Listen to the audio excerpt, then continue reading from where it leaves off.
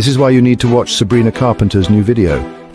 It's got drama, action, and Prada beauty. In Sabrina Carpenter's latest video taste, she's gearing up for battle in the most stylish way possible. Forget the swords and knives. Her first weapon of choice? A silver tube of Prada Beauty lipstick. With a chef's knife as a makeshift mirror, Sabrina applies the soft matte lipstick in mauve brown tonka. Then she's ready for action, channeling iconic vibes from Death Becomes Her and Kill Bill. And guess who's her partner in crime? Scream Queen Jenna Ortega. But this isn't Sabrina's first rodeo with Prada Beauty. Remember the Please Please Please video?